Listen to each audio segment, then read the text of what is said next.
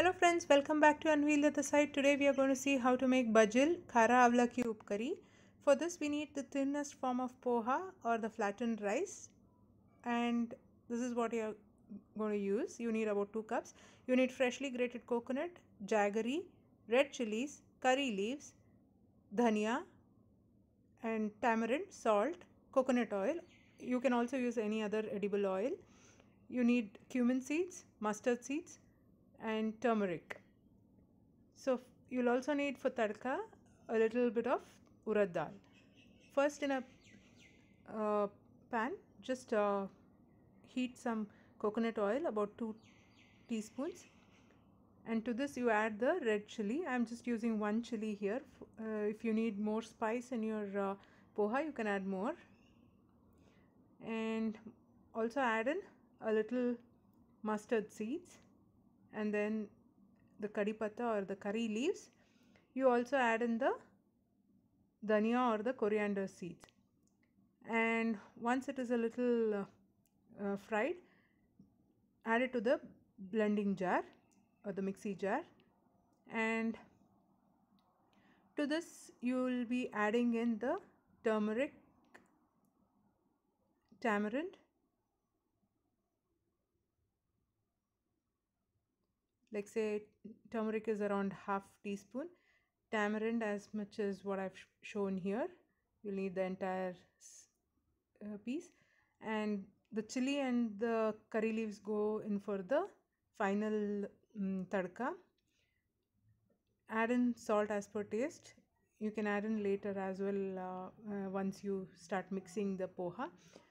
Here now goes into the mixie jar the grated coconut I'm just going to save a little coconut from the entire um, stuff that I've taken here. Grind this mixture. I've added a little jaggery also into this jar and after blending coarsely this is how the paste looks like. Use this into the poha or the flattened rice mix little by little ensuring you get to know how much is required for the entire poha.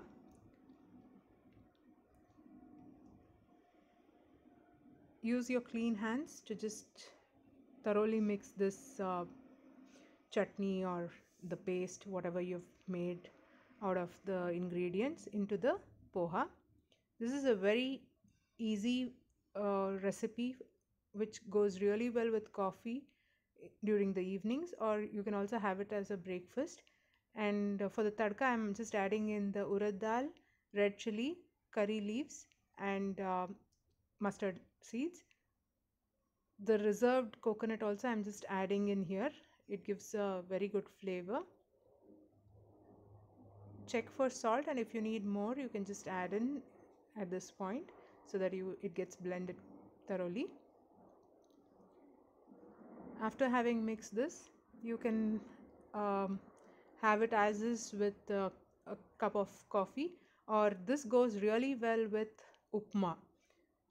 So generally in south Canara that is in the uh, district of uh, Karnataka on the western Ghats side this is given along with upma in most of the breakfasts. So do try this easy healthy recipe and let me know how it turned out